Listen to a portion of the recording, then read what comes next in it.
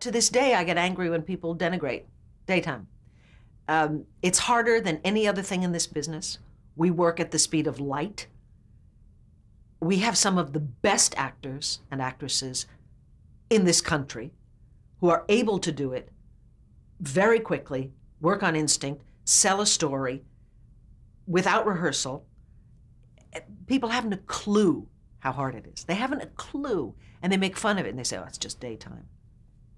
No, it's not just daytime. We get people from California, from Hollywood, you know, from film who come to us. Can't do it. It is an art. Yes, it is. and It is. It's as close probably to theater. That's what I've always said. Because you have one shot at it. We try and do everything in one take. And in the old days, we did it straight through. You didn't stop. We didn't stop if the light fell on your head. You did not stop because we only had tape machines for 45 minutes. We had sports tape machines that we were allowed to use for 45 minutes. So there was no way you could stop. So you started taping and you made your costume changes in your exact one minute co- commercial break. We taped it as if live in a half an hour. Now, of course, it's completely different.